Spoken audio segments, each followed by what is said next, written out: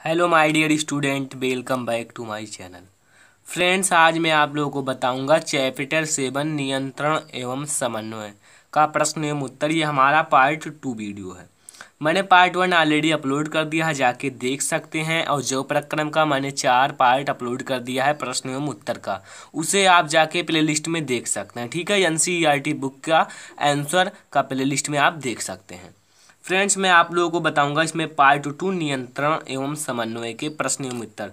ये दोस्तों, सभी प्रश्न आपके एनसीईआरटी बुक से हैं। क्या? जो आपके प्रश्न हैं एन सी बुक से हैं, ये आपके बोर्ड एग्ज़ाम के लिए भी इम्पोर्टेंट है और कंपटेटिव एग्ज़ाम के लिए बहुत ही इम्पोर्टेंट है प्रतियोगी परीक्षाओं के लिए। आइए हम इसमें देखेंगे केवल दो उत्तर, ठीक है? तो आइए हम प्रश्न नंबर फ़र्स्ट देखते हैं। मेरुरज्जु आघात में किन संकेतों के आने में व्यवधान उत्पन्न करती है? जो मेरुरज्जु आघात है, उसमें कौन सी संकेत ऐसा है जिसे आने में व्यवधान उत्पन्न करता है? ठीक है तो हमें बताना है इसका आंसर। ये आपके एनसीईआरटी बुक में प्रश्न दिया हुआ है। आप देख सकते हैं, अपने बगल में एनसीईआरटी बुक रख के ध्यान से पढ़िए। फिर देखिए इसका उत्तर क्या है। मेरुरज्जु आघात में प्रतिवर्ती क्रिया में व्यवधान उत्पन्न करती है, ठीक है? जो मेरुरज्जु आघात है, प्रतिवर्ती क्रिया में व्यवधान उत्पन्न करती है, ठीक है? इसका यही छोटा सा आंसर होगा। आपके बोर्ड एग्ज़ाम में दो नंबर में पूछा भी जा सकता है, ध्यान से देखिए। मेरुरज्जु आघात में प्रतिवर्ती क्रिया में व्यवधान उत्पन्न करती है, ठीक है? समझ में आया? दोबारा देख लीजिए। मेरुरज्जु आघात में किन संकेतों के आने में व्यवधान उत्पन्न करती है? किन संकेत को आने में जो मेरुरज्जु आघात है, व्यवधान उत्पन्न करती है, ठीक है? तो आपको आंसर क्या बताना है? मेरुरज्जु आघात में प्रतिवर्ती क्रिया में व्यवधान उत्पन्न करती है। तो फ्रेंड्स आई होप कि आप लोगों को ये क्वेश्चन एवं इसका आंसर समझ में आ गया होगा। आइए हम दूसरा क्वेश्चन देखते हैं। दूसरा क्वेश्चन क्या है? देखिए। ध्यान से देखिए। एक जीव में नियंत्रण एवं समन्वय के तंत्र की क्या आवश्यकता होती है? जैसे नियंत्रण एवं समन्वय आपका पाठ है तो वही पूछ रहा है, नियंत्रण एवं समन्वय की क्या आवश्यकता होती है, ये क्यों पाया जाता है? इसे आप लोगों को बताना है, इस आंसर इसका आंसर बताना है, ठीक है? जैसे जीव है, जीव में नियंत्रण एवं समन्वय क्यों आवश्यक होता है? तो आइए हम इसका आंसर देखते हैं, ठीक है?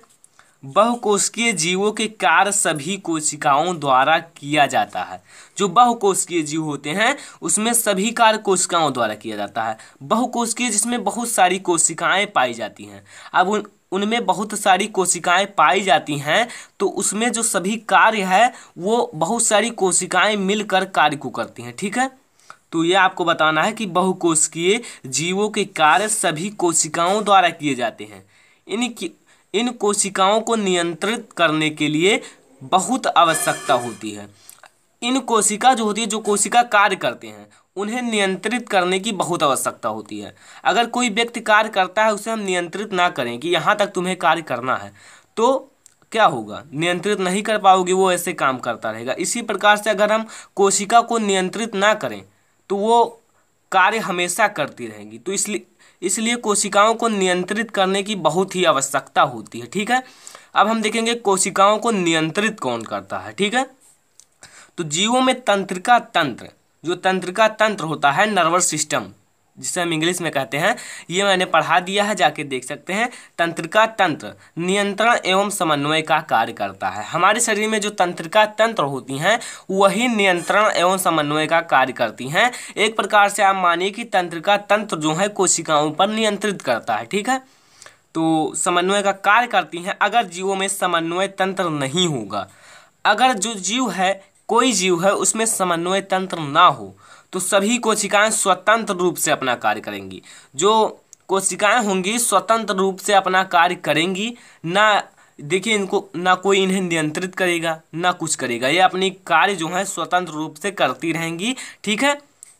तथा हमें इच्छा अनुसार परिणाम नहीं मिलेगा। अगर हमारी इच्छा अनुसार परिणाम नहीं मिलेगा, ठीक है, जब कोशिकाएँ स्वतंत्र होंगी तो वो कुछ भी कर सकती हैं, कोई भी कार्य कर सकती हैं तो इसीलिए हमें इच्छा अनुसार या इच्छित कार्य नहीं मिलेगा। आइए हम दोबारा देखते हैं इस प्रश्न को, क्योंकि ये प्रश्न थोड़ा लॉन्ग है और आप लोगों के बोर्ड एग्ज़ाम में पूछा भी जा सकता है, ठीक है?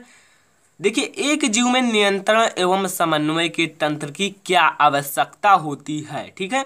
आइए अब हम इसे आप लोगों को डीपली समझाते हैं। बहुकोशिकीय जीवों के कार्य सभी कोशिकाओं द्वारा किया जाता है, ठीक है? कोशिका क्या होता है? मनुष्य की संरचनात्मक एवं क्रियात्मक इकाई को कोशिका कहते हैं, ठीक है? इन कोशिकाओं को नियंत्रित करने की बहुत ही आवश्यकता होती है। जीवों में तंत्र का तंत्र नियंत्रण एवं समन्वय का कार्य करता है, ठीक है? अगर जीवों में समन्वय तंत्र ना हो, अगर जीव जो है उसमें समन्वय तंत्र ना हो तो सभी कोशिकाएँ स्वतंत्र रूप से कार्य करेंगी तथा हमें इच्छा अनुसार परिणाम नहीं मिलेगा या इच्छित परिणाम नहीं मिलेगा। तो दोस्तों आई होप कि आप लोगों को ये दोनों प्रश्न समझ में आ गए होंगे। दोस्तों, फ़िलहाल इस वीडियो में इतना ही। मैं आप लोगों को अगला प्रश्न अगले वीडियो में बताने वाला हूँ।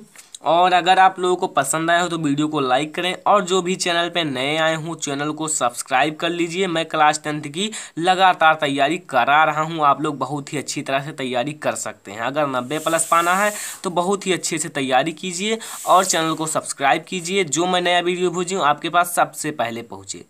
तो फ्रेंड्स, फ़िलहाल इस वीडियो में इतना ही। तब तक के लिए धन्यवाद।